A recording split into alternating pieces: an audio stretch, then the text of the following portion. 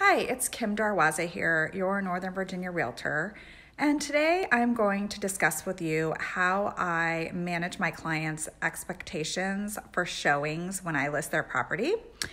We live in a very multicultural area here in the DC area. There are also people from different states.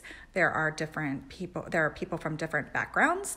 And so there are a lot of different social norms. And what you and I may think is rude, other people think is normal. So agents will schedule appointments and they will not show it up at all. They will be late. They will be early.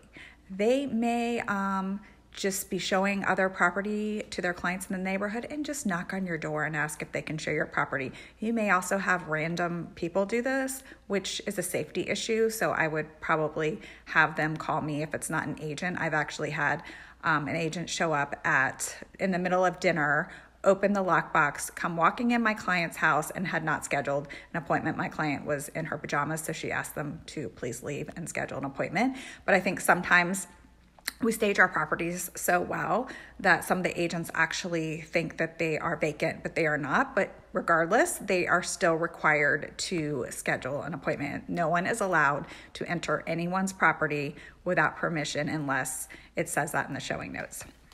Another thing is that um, they may just pull up in your driveway and leave because they don't like the lot or the neighborhood. They may come in your house for a minute and say, you know, this isn't for us and leave. Or they may there be be there for an hour and a half because their clients love the property and they, you know, have to look at every nook and cranny.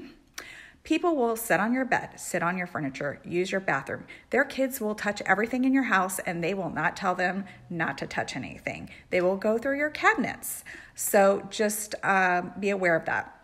They will not lock your doors because they will either forget because they're talking and engrossed in a conversation or they can't figure out how to lock it. That's like a Pella door situation. They're hard to lock.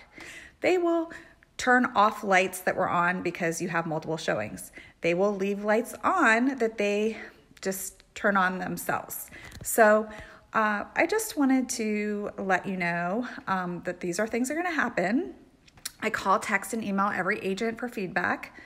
Some of them respond, some of them it's as if they've joined witness protection and I will never hear from them again, but that's pretty much an indication that their client does not want to purchase your home. So, anyways, those are pretty much the ways I manage my clients' expectations. And so, if you have any questions or comments, please let me know. I love to hear from everyone. Thanks for watching and have a great day.